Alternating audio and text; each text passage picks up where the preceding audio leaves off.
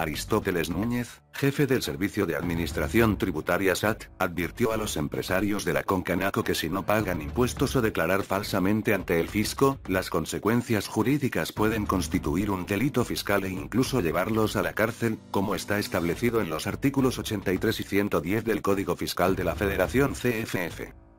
En entrevista para el medio El Universal, aceptó que se trata de la primera vez que los empresarios hacen declaraciones tan delicadas como esa, pero aclaró que no se trata de una ruptura con la iniciativa privada ya que la Coparmex y el Consejo Coordinador Empresarial no comparten la misma postura.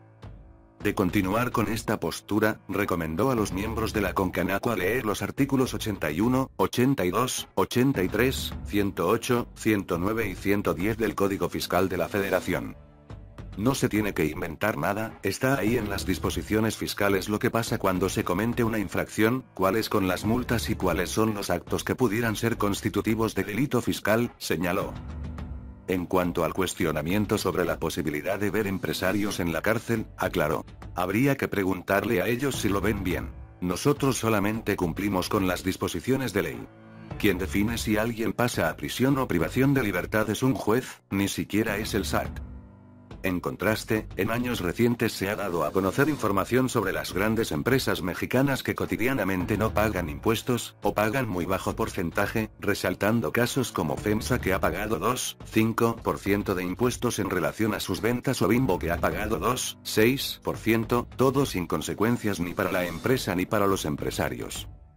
Ley. SAT aplica mano dura a pequeños contribuyentes y protege a grandes empresas.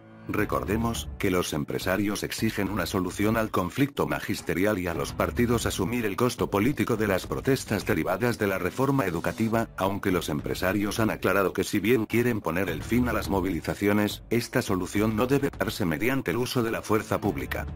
Deja tu comentario en la parte de abajo.